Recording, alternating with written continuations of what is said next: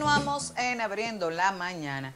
Y antes de irnos al corte del material que tenemos, Helio, a propósito de las declaraciones de lo que hablábamos con don Cándido Mercedes, el representante del Banco Mundial en el país, Alessandro Legrotaglia, aseguró que la economía local crece de manera sostenible, pero que ciertamente requiere que se firme el pacto fiscal y el pacto eléctrico contemplado en el plan, eh, en, el, en, la Estrategia Nacional de Desarrollo para que tenga mayor solidez. Dice que esos pactos garantizan las bases para que la economía sea sólida.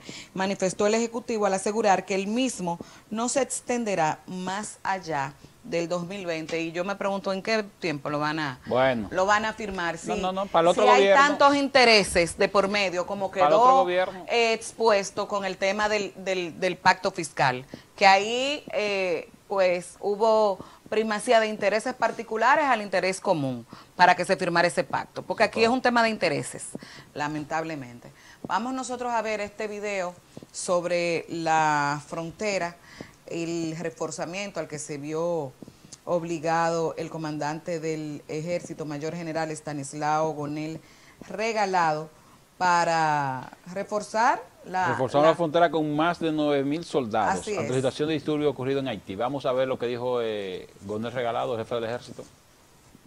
Precisamente esa es la idea, mantener ese programa que, hemos mantenido con la ayuda de nuestro señor presidente de la República, licenciado Dimina Sánchez, que a diario nos sigue apoyando en todo lo que tiene con el trabajo de, las Fuerzas Armadas, y de nuestro ministro, teniente general Rubén Darío que nos instruye cada semana de hacer este acercamiento hacia nuestra frontera, que la idea es mantener la seguridad hermética como lo hemos hecho. Y hemos mantenido alrededor de unos 9.100 hombres en toda la frontera hermética, lo que tiene que ver con la seguridad en toda la línea fronteriza, los 391 kilómetros, especialmente en lo que son las provincias de Dajabón, Elías Piña y Maní Pedernales, que son los puntos principales.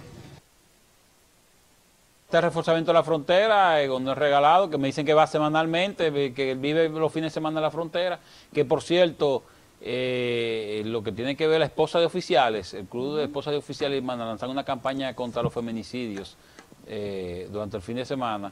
Y por cierto, el ejército de aniversario, 175 aniversario, cumpleaños del ejército. Felicidades. Ay, sí, por cierto, está de aniversario del ejército. me, imagino, que hoy harán varias actividades. Así es. a Gonel Regalado y a todos los gendarme, ¿qué le dice? O gendarme, ¿cómo es gendarme? A los muchachos, no, a todos los soldados, felicidades en 175 aniversario de la fundación del Ejército de la República Dominicana. Así y sobre el reforzamiento de la frontera, importante porque eso disturbios en Haití. Claro. Sobre todo, sobre todo por el pronunciamiento del Fondo Monetario Internacional de, la eh. crisis. y en el día de ayer eh, se asesina, murió asesinada a tiros una pareja francesa que viajó a Haití para adoptar eh, un niño, así es. Eh, fueron ah. asesinados a tiros el domingo por la tarde en la capital haitiana de Puerto Príncipe, donde acababan de llegar para realizar una adopción. Un funcionario de la Embajada de Francia en Puerto Príncipe dijo que los dos franceses fueron asesinados, pero no proporcionó por el momento detalles sobre la ubicación exacta a las circunstancias de la tragedia.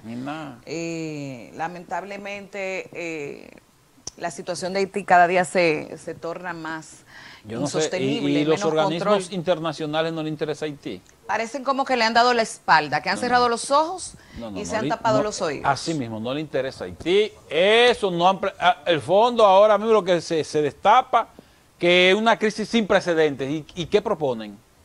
¿Qué proponen? Porque nadie... Soltaron a Haití, por eso hay que tener vigilante la frontera. Haití está suelto ya. Así es. Bueno, hemos llegado al final del día de hoy. Será hasta una próxima entrega donde estaremos con ustedes llevándoles lo mejor de Abriendo la Mañana. Elio Valdés, Arisleida Villalona y esta servidora Nadia Andújar por Super Canal 33 todos los días desde las 7 de la mañana. Muchas